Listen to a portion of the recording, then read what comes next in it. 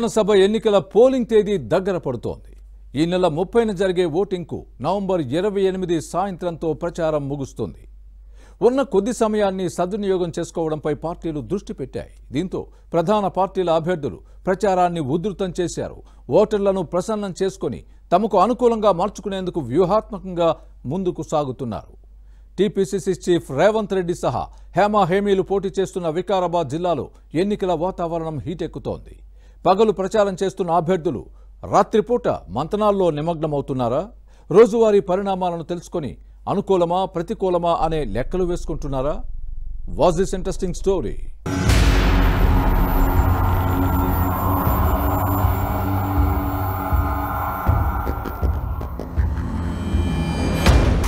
Vikarabad జిల్లాలో ఎన్నికల ప్రచారం ఊపందుకుంది. పోటీలో ఉన్న నేతలు ఓటర్లను ప్రసన్నం చేసుకునేందుకు సర్వశక్తులు ఒడ్డుతున్నారు సభలు సమావేశాలు ర్యాలీలు నిర్వహిస్తూ వారిని తమ వైపు తిప్పుకునేందుకు ప్రయత్నిస్తున్నారు. జిల్లాలోని కొడంగల్ పరిగి వికారాబాద్ తాండూర్ నియోజకవర్గాల్లో ప్రధాన పోటీ కాంగ్రెస్ బీఆర్ఎస్ మధ్య ఉంది. కొన్ని చోట్ల బీజేపీ బీఎస్పీ అభ్యర్థులు ప్రత్యర్థులకు పోటీ ఇస్తున్నారు. దీంతో రాజకీయాలు రోజు రోజుకు వేడెక్కుతున్నాయి. అన్ని స్థానాల్లో ప్రధాన పార్టీల అభ్యర్థులు పగలంతా ప్రచారంలో తలమునకలే ఉంటున్నారు. రాత్రిపూట ముఖ్య నేతలతో అంతర్గత మంతనాలు జరుపుతున్నారు. రోజువారీ పరిణామాలను తెలుసుకుని అనుకూలమా ప్రతికూలమా అనే లెక్కలు వేస్తున్నారు. ఎవరైనా వ్యతిరేకంగా ఉంటే వారిని ఏ విధంగా తమ వైపు తిప్పుకోవాలన్న అంశంపై చర్చిస్తున్నారు. బీఆర్ఎస్ గ్రామాల్లో ప్రతి వంద మందికి ఒక కార్యకర్తను నియమించి ఓటర్లతో మంతనాలు జరుపుతుంటే మిగతా పార్టీలు ఇంటింటికి తిరిగి సంఘాలతో ఒప్పందాలు కుదుర్చుకుంటున్నాయన్న చర్చ సాగుతోంది.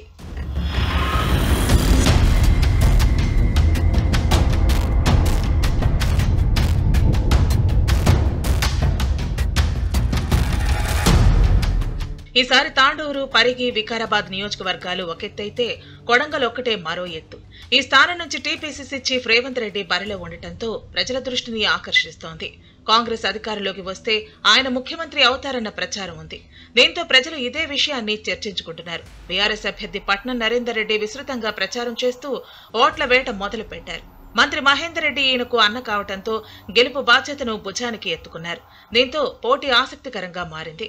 రెండు వేల పద్దెనిమిది ఎన్నికల్లో ఈ ఇద్దరే ప్రత్యర్థులు.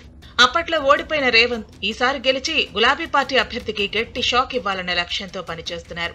తెలంగాణ కాంగ్రెస్ అధ్యక్షుడిగా రాష్ట్రమంతటా విస్తృతంగా ప్రచారం చేస్తూనే కొడంగల్కు కొంత సమయం కేటాయిస్తున్నారు. కాంగ్రెస్ కేడర్ ఇంటింటికి వెళుతూ పార్టీ ప్రకటించిన ఆరు గ్యారంటీలను జనంలోకి తీసుకెళ్తున్నారు. కాంగ్రెస్ బీఆర్ఎస్ అభ్యర్థులు ఎత్తుకు పై ఎత్తులు వేస్తూ నాయకులు కార్యకర్తలు సమన్వయంతో పక్కా ప్రణాళికతో ముందుకు సాగుతున్నారు. బీజేపీ అభ్యర్థి బంటు రమేష్ బీఎస్పీ నర్మదలు ఇంటింటి ప్రచారంతో జోరు పెంచారు.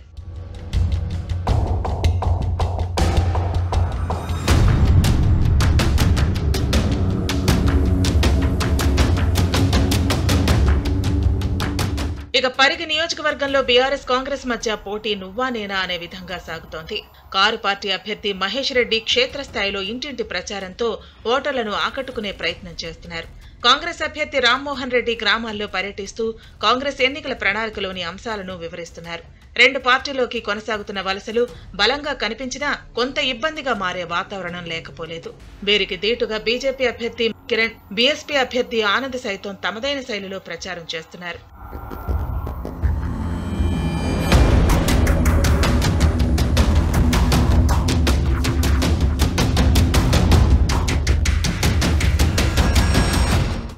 నియోజకవర్గంలో బీఆర్ఎస్ కాంగ్రెస్ మధ్య తీవ్ర పోటీ ఉంది.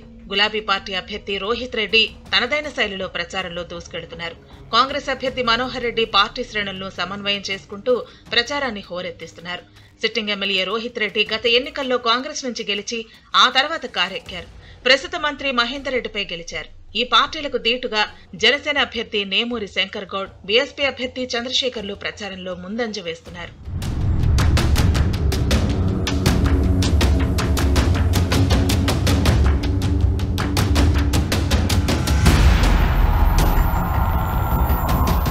వికారాబాద్ నియోజకవర్గంలో కాంగ్రెస్ బీఆర్ఎస్ మధ్య రసవత్తర పోరు జరుగుతోంది. రోజు రోజుకు సమీకరణలు అటు ఇటు మారుతూ ప్రధాన పార్టీ అభ్యర్థుల్లో గుబులు రేపుతున్నాయి. గులాబీ పార్టీ అభ్యర్థి ఆనంద్ కాంగ్రెస్ నుంచి బరిలో దిగిన ప్రసాద్ కుమార్ ఓటర్లను ప్రసన్నం చేసుకోవడానికి గ్రామాల బాట పడుతున్నారు. వృద్ధులు మహిళలతో మాట్లాడుతూ కూడళ్ళలో సభలు నిర్వహిస్తున్నారు. బీజేపీ అభ్యర్థి నవీన్ కుమార్ బీఎస్పీ అభ్యర్థి క్రాంతి కుమార్ సైతం ప్రధాన పార్టీలకు దీటుగా ప్రచారం చేస్తున్నారు. వికారాబాద్ జిల్లాలోని నాలుగు నియోజకవర్గాల్లో బీజేపీ బీఎస్పీ అభ్యర్థుల ప్రభావం కొంతవరకు ఉండే అవకాశం ఉందట. బీఆర్ఎస్ కాంగ్రెస్లో ఎవరి ఓట్లు చీల్చుతారన్న అంశం చర్చనీయాంశంగా మారింది. నాలుగు నియోజకవర్గాల్లో ఏ పార్టీ జెండా ఎగురుతుందో చూడాలి.